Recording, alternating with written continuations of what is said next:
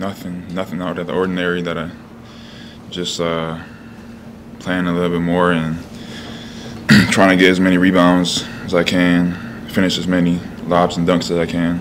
Simple as that. Which is what you'd see right now on ESPN2 as Sims rocks the rim out of the timeout. Barrett, good shovel, and Sims flushes it down. 17.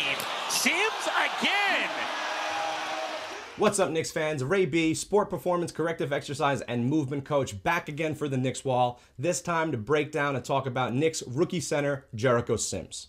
Drafted with the 58th overall pick of the second round of this last year's draft out of Texas, Jericho Sims has been buried behind Mitchell Robinson, Taj Gibson, and Nerlens Noel on Thibs' bench, although we have been seeing a tremendous amount more of Sims in the game.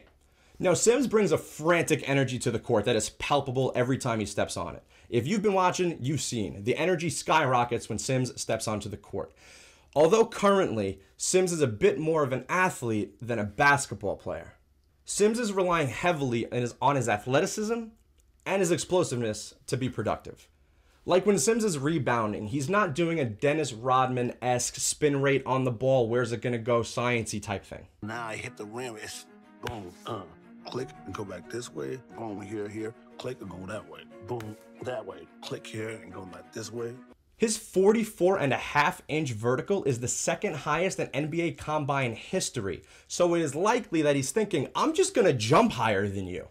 So while he's short for a center at 6'9", his 7'3 wingspan and leaping ability is what is allowing him to hold his own down low a bit better and use those 7'3 wingspan arms to box out a lot more effectively, which is allowing his teammates to swoop in underneath and grab those rebounds and even grab some rebounds himself. Now, this is to be expected with a late second round pick. I mean, nobody expected Jericho Sims to come in and instantly be a effective, polished post player to instigate and initiate the offense. He's in the game to bring a spark. And if you've, if you've been watching, you've seen it. When he's on the court, he's doing that. So let's dig in a bit more and see what Jericho Sims being on the court for the Knicks means and see if we can pull away anything from the way that Jericho Sims uses his body and his movement in his game. Now, one of Jericho Sims's trademarks is his swat out to the point. It's a Tyson Chandler esque tip out to the guards, and I love to see it. Now, for those of you who don't know, in his third year at Texas, he had a stress fracture in his back. My theory is that he had developed this technique of swatting the ball out to reduce the stress in his lower back, landing with a rebound. Now, the injury concern would now be that big swat out as he puts more miles on his body could open him up to a potential lat strain down the line. Again, I do think that he developed this technique also to compete with bigger bodies down low. At 6'9, it doesn't matter how long your wingspan is. It's going to be tough to bring down boards against those guys. So swatting it out to the point is a great technique to use. Now, I like watching Jericho Sims play. It is entertaining to watch him go, although there is a very frenzied, aggressive energy about him.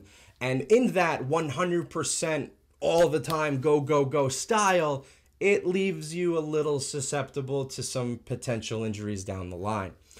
When he's running the court, he looks good running the court. I like the way he runs the floor. He has a little bit of a long stride. I would like to see him clean up his strides just a little bit when he's running to reduce the risk of potential adductor strains or a hip strain or something like that with a little bit of too long of a stride. I love the way he pulls his rebounds down, although you might have noticed when he pulls his boards down and he starts thrashing side to side through that transverse plane. At 23 years old and playing limited minutes, not all that much to worry about, but as miles start to accumulate, thrashing side to side can definitely leave him open to oblique and lat injuries. Have you ever been in a situation where someone catches you unexpectedly and you turn to the side really hard and then you feel like a little twinge in your back or your in the side, your oblique? Have you ever had the desire to write your initials in wet cement? Have you had your hearing tested lately? That's what I'm talking about, except it'll be a lot worse for him because he's doing it so hard and so strong because he's a pro athlete. And what I mean when I say clean the strides up is not change your running mechanics, it's just to take shorter steps. Now, Have you ever been walking on a surface and you step on a spot that's a little slippery and one of your legs goes a little bit further and you feel like that stretch in your thigh? Have you ever visited a Chinatown section in a major city? Have you ever visited a flea market? Have you noticed what big stars real estate agents have become? That's what I'm talking about. That can happen if he doesn't clean those up. Can happen. Let's avoid it altogether by just shortening those strides up. Another thing in Sims's game that I really like is his ability to stay in that low center of gravity squat. If you've seen the Obi Toppin video, exactly kind of the thing I was talking about. He is nice and low. He's got a good hunch to him. Everything looks clean, and it's the reason why he's able to facilitate and move around those picks when he's playing defense. He does get beat sometimes, but for the most part, that low center of gravity is keeping his glutes and his legs engaged so that he can spring up at any given moment and swat that ball out or grab that rebound. Something that I love watching Sims do is setting picks and then rolling. If you watch Sims setting a pick, watch him roll. He absolutely, out of a cannon, explodes towards the rim. I've seen it a lot with Quickley. I've seen it a tremendous amount with Fournier, even a little bit with Burks, but they're not really looking for him. But it's opening up space for them to shoot. When he goes and sets that pick, watch it next time. He is going to beeline to the rim. And if they're looking for him, it's going to be really hard to stop and it's going to be effective. The only thing is, it's going to require him to be on the court a little bit more and develop some chemistry with those players. So it's it's no secret that Mitchell Robinson is in a contract year, and with the increased role that we've seen Sims get, a lot of people have been saying that they might actually just prefer to roll with Sims over Robinson instead of paying Robinson approximately $15 million a year. And I don't know about that. It's not meant to be a slight on Sims by any means. I think that he's could be a great guy off the bench. I think that he can definitely be an energy guy and be someone that can get a better feel for the game going forward. But first off, Mitch may be in his fourth season and feel like he's been around forever, but he's actually just a little bit more than six months older than Sims. Mitchell Robinson turns 24 on April 1st, and Jericho Sims turns 24 on October 20th, so they're like right there. We've seen them both affect shooters, but Mitchell Robinson affects shooters so much more. Sims averages about a half a block a game, and in Mitch's worst season, he averaged a block and a half. So I'm not ready to toss Mitch to the curb just yet. Jericho's defensive impact is going to be placated on, you guessed it, effort and athleticism. He's going to come in, he's going to hit that Bane button. Fuck this, I shall rise!